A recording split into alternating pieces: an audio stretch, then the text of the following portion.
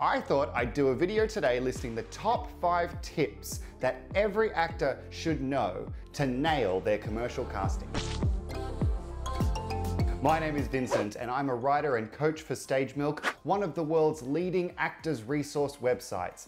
And I'm also an actor just like you. There is one truth about we actors in this industry. I'd say about 80 to 90% of the auditions that we end up going for are for commercial castings. Tip number one, read the brief. You must read the brief. You must read the brief. The brief gets into you and you must read it through. Uh, uh, uh, uh, uh, uh, uh, uh, uh, uh. There's a whole tier of people that the role has to go through before it even gets to you, the actor. You've got the client. In this case, that's What a relief burger! Vegan patties just like the real thing. Okay, we've got a new burger. We need to go and advertise this. So we need a, you guessed it, advertising agency. We've got client, we've got the agency, then we've got production. And then the production company sources out the casting team. Casting then goes out to talent agencies and we are represented by talent agencies, or you could be freelance. But this is the point where we become involved. There are many different online platforms. The way it usually happens is that you will receive an email alert. This could be either from your agent or if you're freelance, it's probably from your own application. The email is the brief, the commercial brief. This is called the audition ticket. It's an invitation to the audition and it gives you all the details you will need so that you can do your best work when you go out there, okay? That's why it's so important to read it, guys. Hello? So, audition ticket for Actor McGee. You've got the role name. Now, the role name, don't get hung up on it. It's usually just an archetypal thing, okay? It's dad, it's mum, it's student, it's barista, it's tradie, it's hairdresser, it's all sorts of things. Don't sort of sit there and go, well, I'm an actor, so if my character doesn't have a name, a backstory, and a serious psychological trauma that they've had to overcome since childhood, I don't know that I can play it. You're probably not going to get that on a commercial casting. Here we've got Hero Burger Eater. You get the audition time and you get the address. Then you've got instructions for the talent. That's you, you're the talent.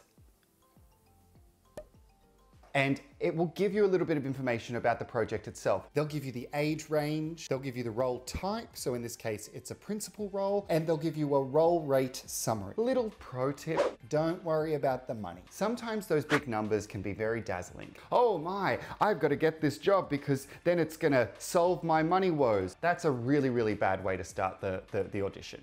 So don't go in there thinking about the money. Then we've got the role description. It's a feel that they want for the character. It is very important to understand what they're going for with the mood, the tone of the piece, because you ultimately are going to have to bring that into the room. Hero Burger Eater, a warm, down to earth, friendly pal next door with a good sense of humor. No over the top performances, we're looking for natural here. Sometimes they will want you to be a little bit bombastic and a little bit crazy because ads sometimes can be crazy. But sometimes they really just want a genuine, authentic real life performance because it depends what they're selling. Now that we've read through all the details on the ticket itself, let's go into the links they've provided. They will have things like the script and the concept document. The concept document is quite frequently what the production company who are going to be filming the commercial actually submitted to the agency. It's similar in the way that our auditions are submitted. We open on a rustic table, a burger is placed in front of us,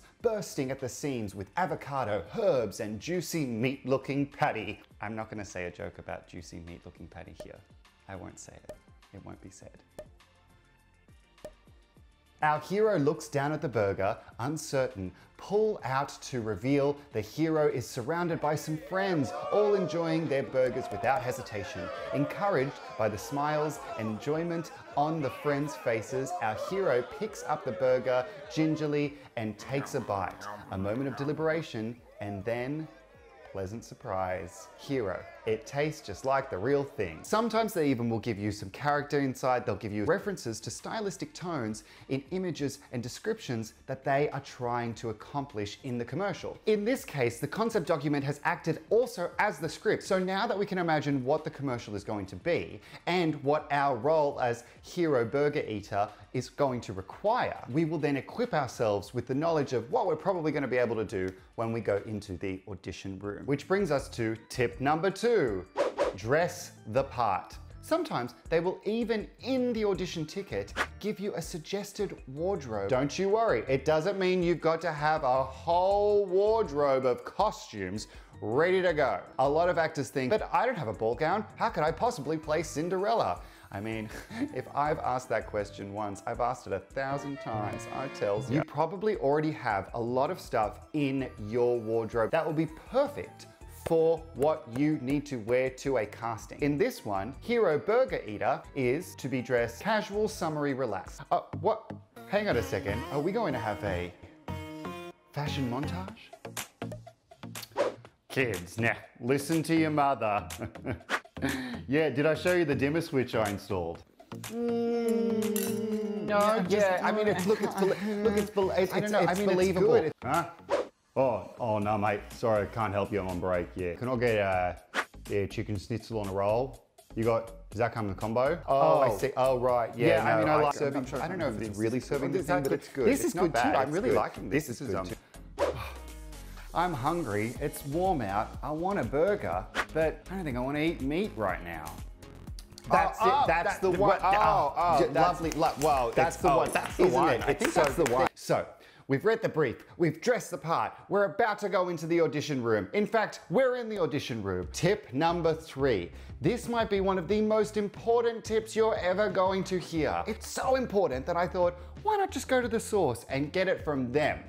So I sat down with one Mr. Daniel Barini, a WAAPA graduate, a fellow actor, and a man who has worked as a professional in casting for over five years. You're gonna wanna hear what he has to say. And so now, Daniel, you work for Eiffel Casting. Yeah. And they mostly do commercial auditions? Yeah, they do drama as well. But Right. yeah, at the moment, um, certainly they, they focus on TVCs, which is television commercials. In regards to TVC castings, Yeah. and I don't like doing it, but often there's a degree of micro direction that is necessary. I mean, there is just beats you have to hit. We're plugging the product. There's Yeah. just things you have to hit. I think that people just need to come in with an enthusiastic outlook and just be willing to listen to what the direction is. Because often or not, it may just be totally different to what you anticipate. It may be right, it, or maybe wrong. We may just want to try something for the, for the sake of it. Hmm.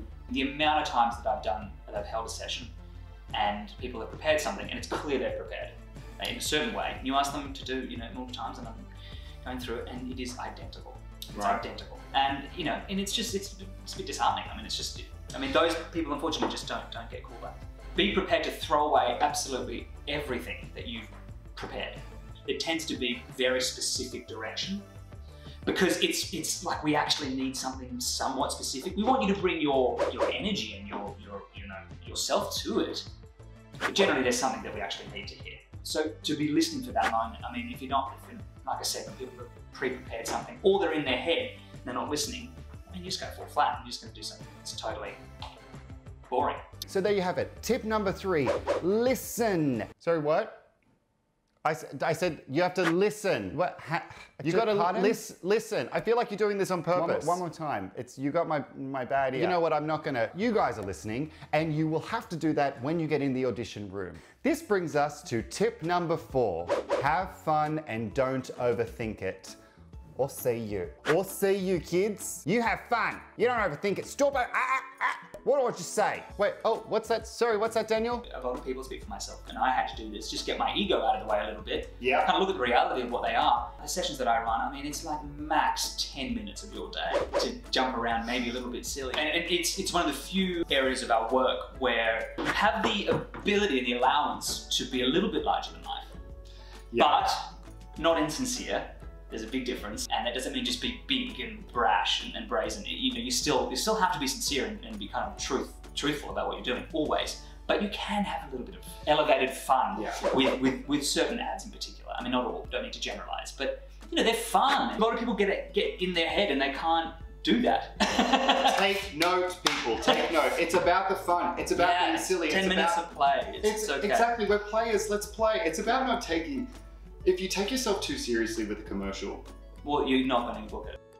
Now we come to tip number five. This is the most important tip you will ever, ever, ever need to know. This doesn't just go for commercial castings, it goes for every audition that you go on. Forget about it the second you leave the room. Now, of course, we care. Of course, we worry. Did I do this? Did I do that? But the thing is, you've done your part. Whatever you did, be happy that it's done and be happy that you did it and walk out and move on. And then be happily surprised when they, hey, we'd like to see him for a callback, a second audition. Bring him over this time next Tuesday. we have to find that balance between loving the work and putting so much of ourselves in it, but also taking care of ourselves because one cannot exist without the other. The healthier your mind and body is as an instrument, the better your work will be. So we protect ourselves. Trust me, I live by this rule. Do your best to walk out of that door and forget that the casting ever happened. So those are the five most important tips you can take into any commercial castings to nail that audition. Number one, read through the brief. Number two, dress the part. Number three, listen. I said listen.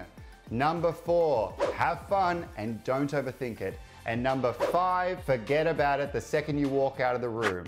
Thank you all so, so much. Please like and subscribe below for more fun and informative videos. And make sure you go and check out the StageMilk website and all of our social media platforms. Just know, everyone, you're not alone. And I look forward to seeing you again next time.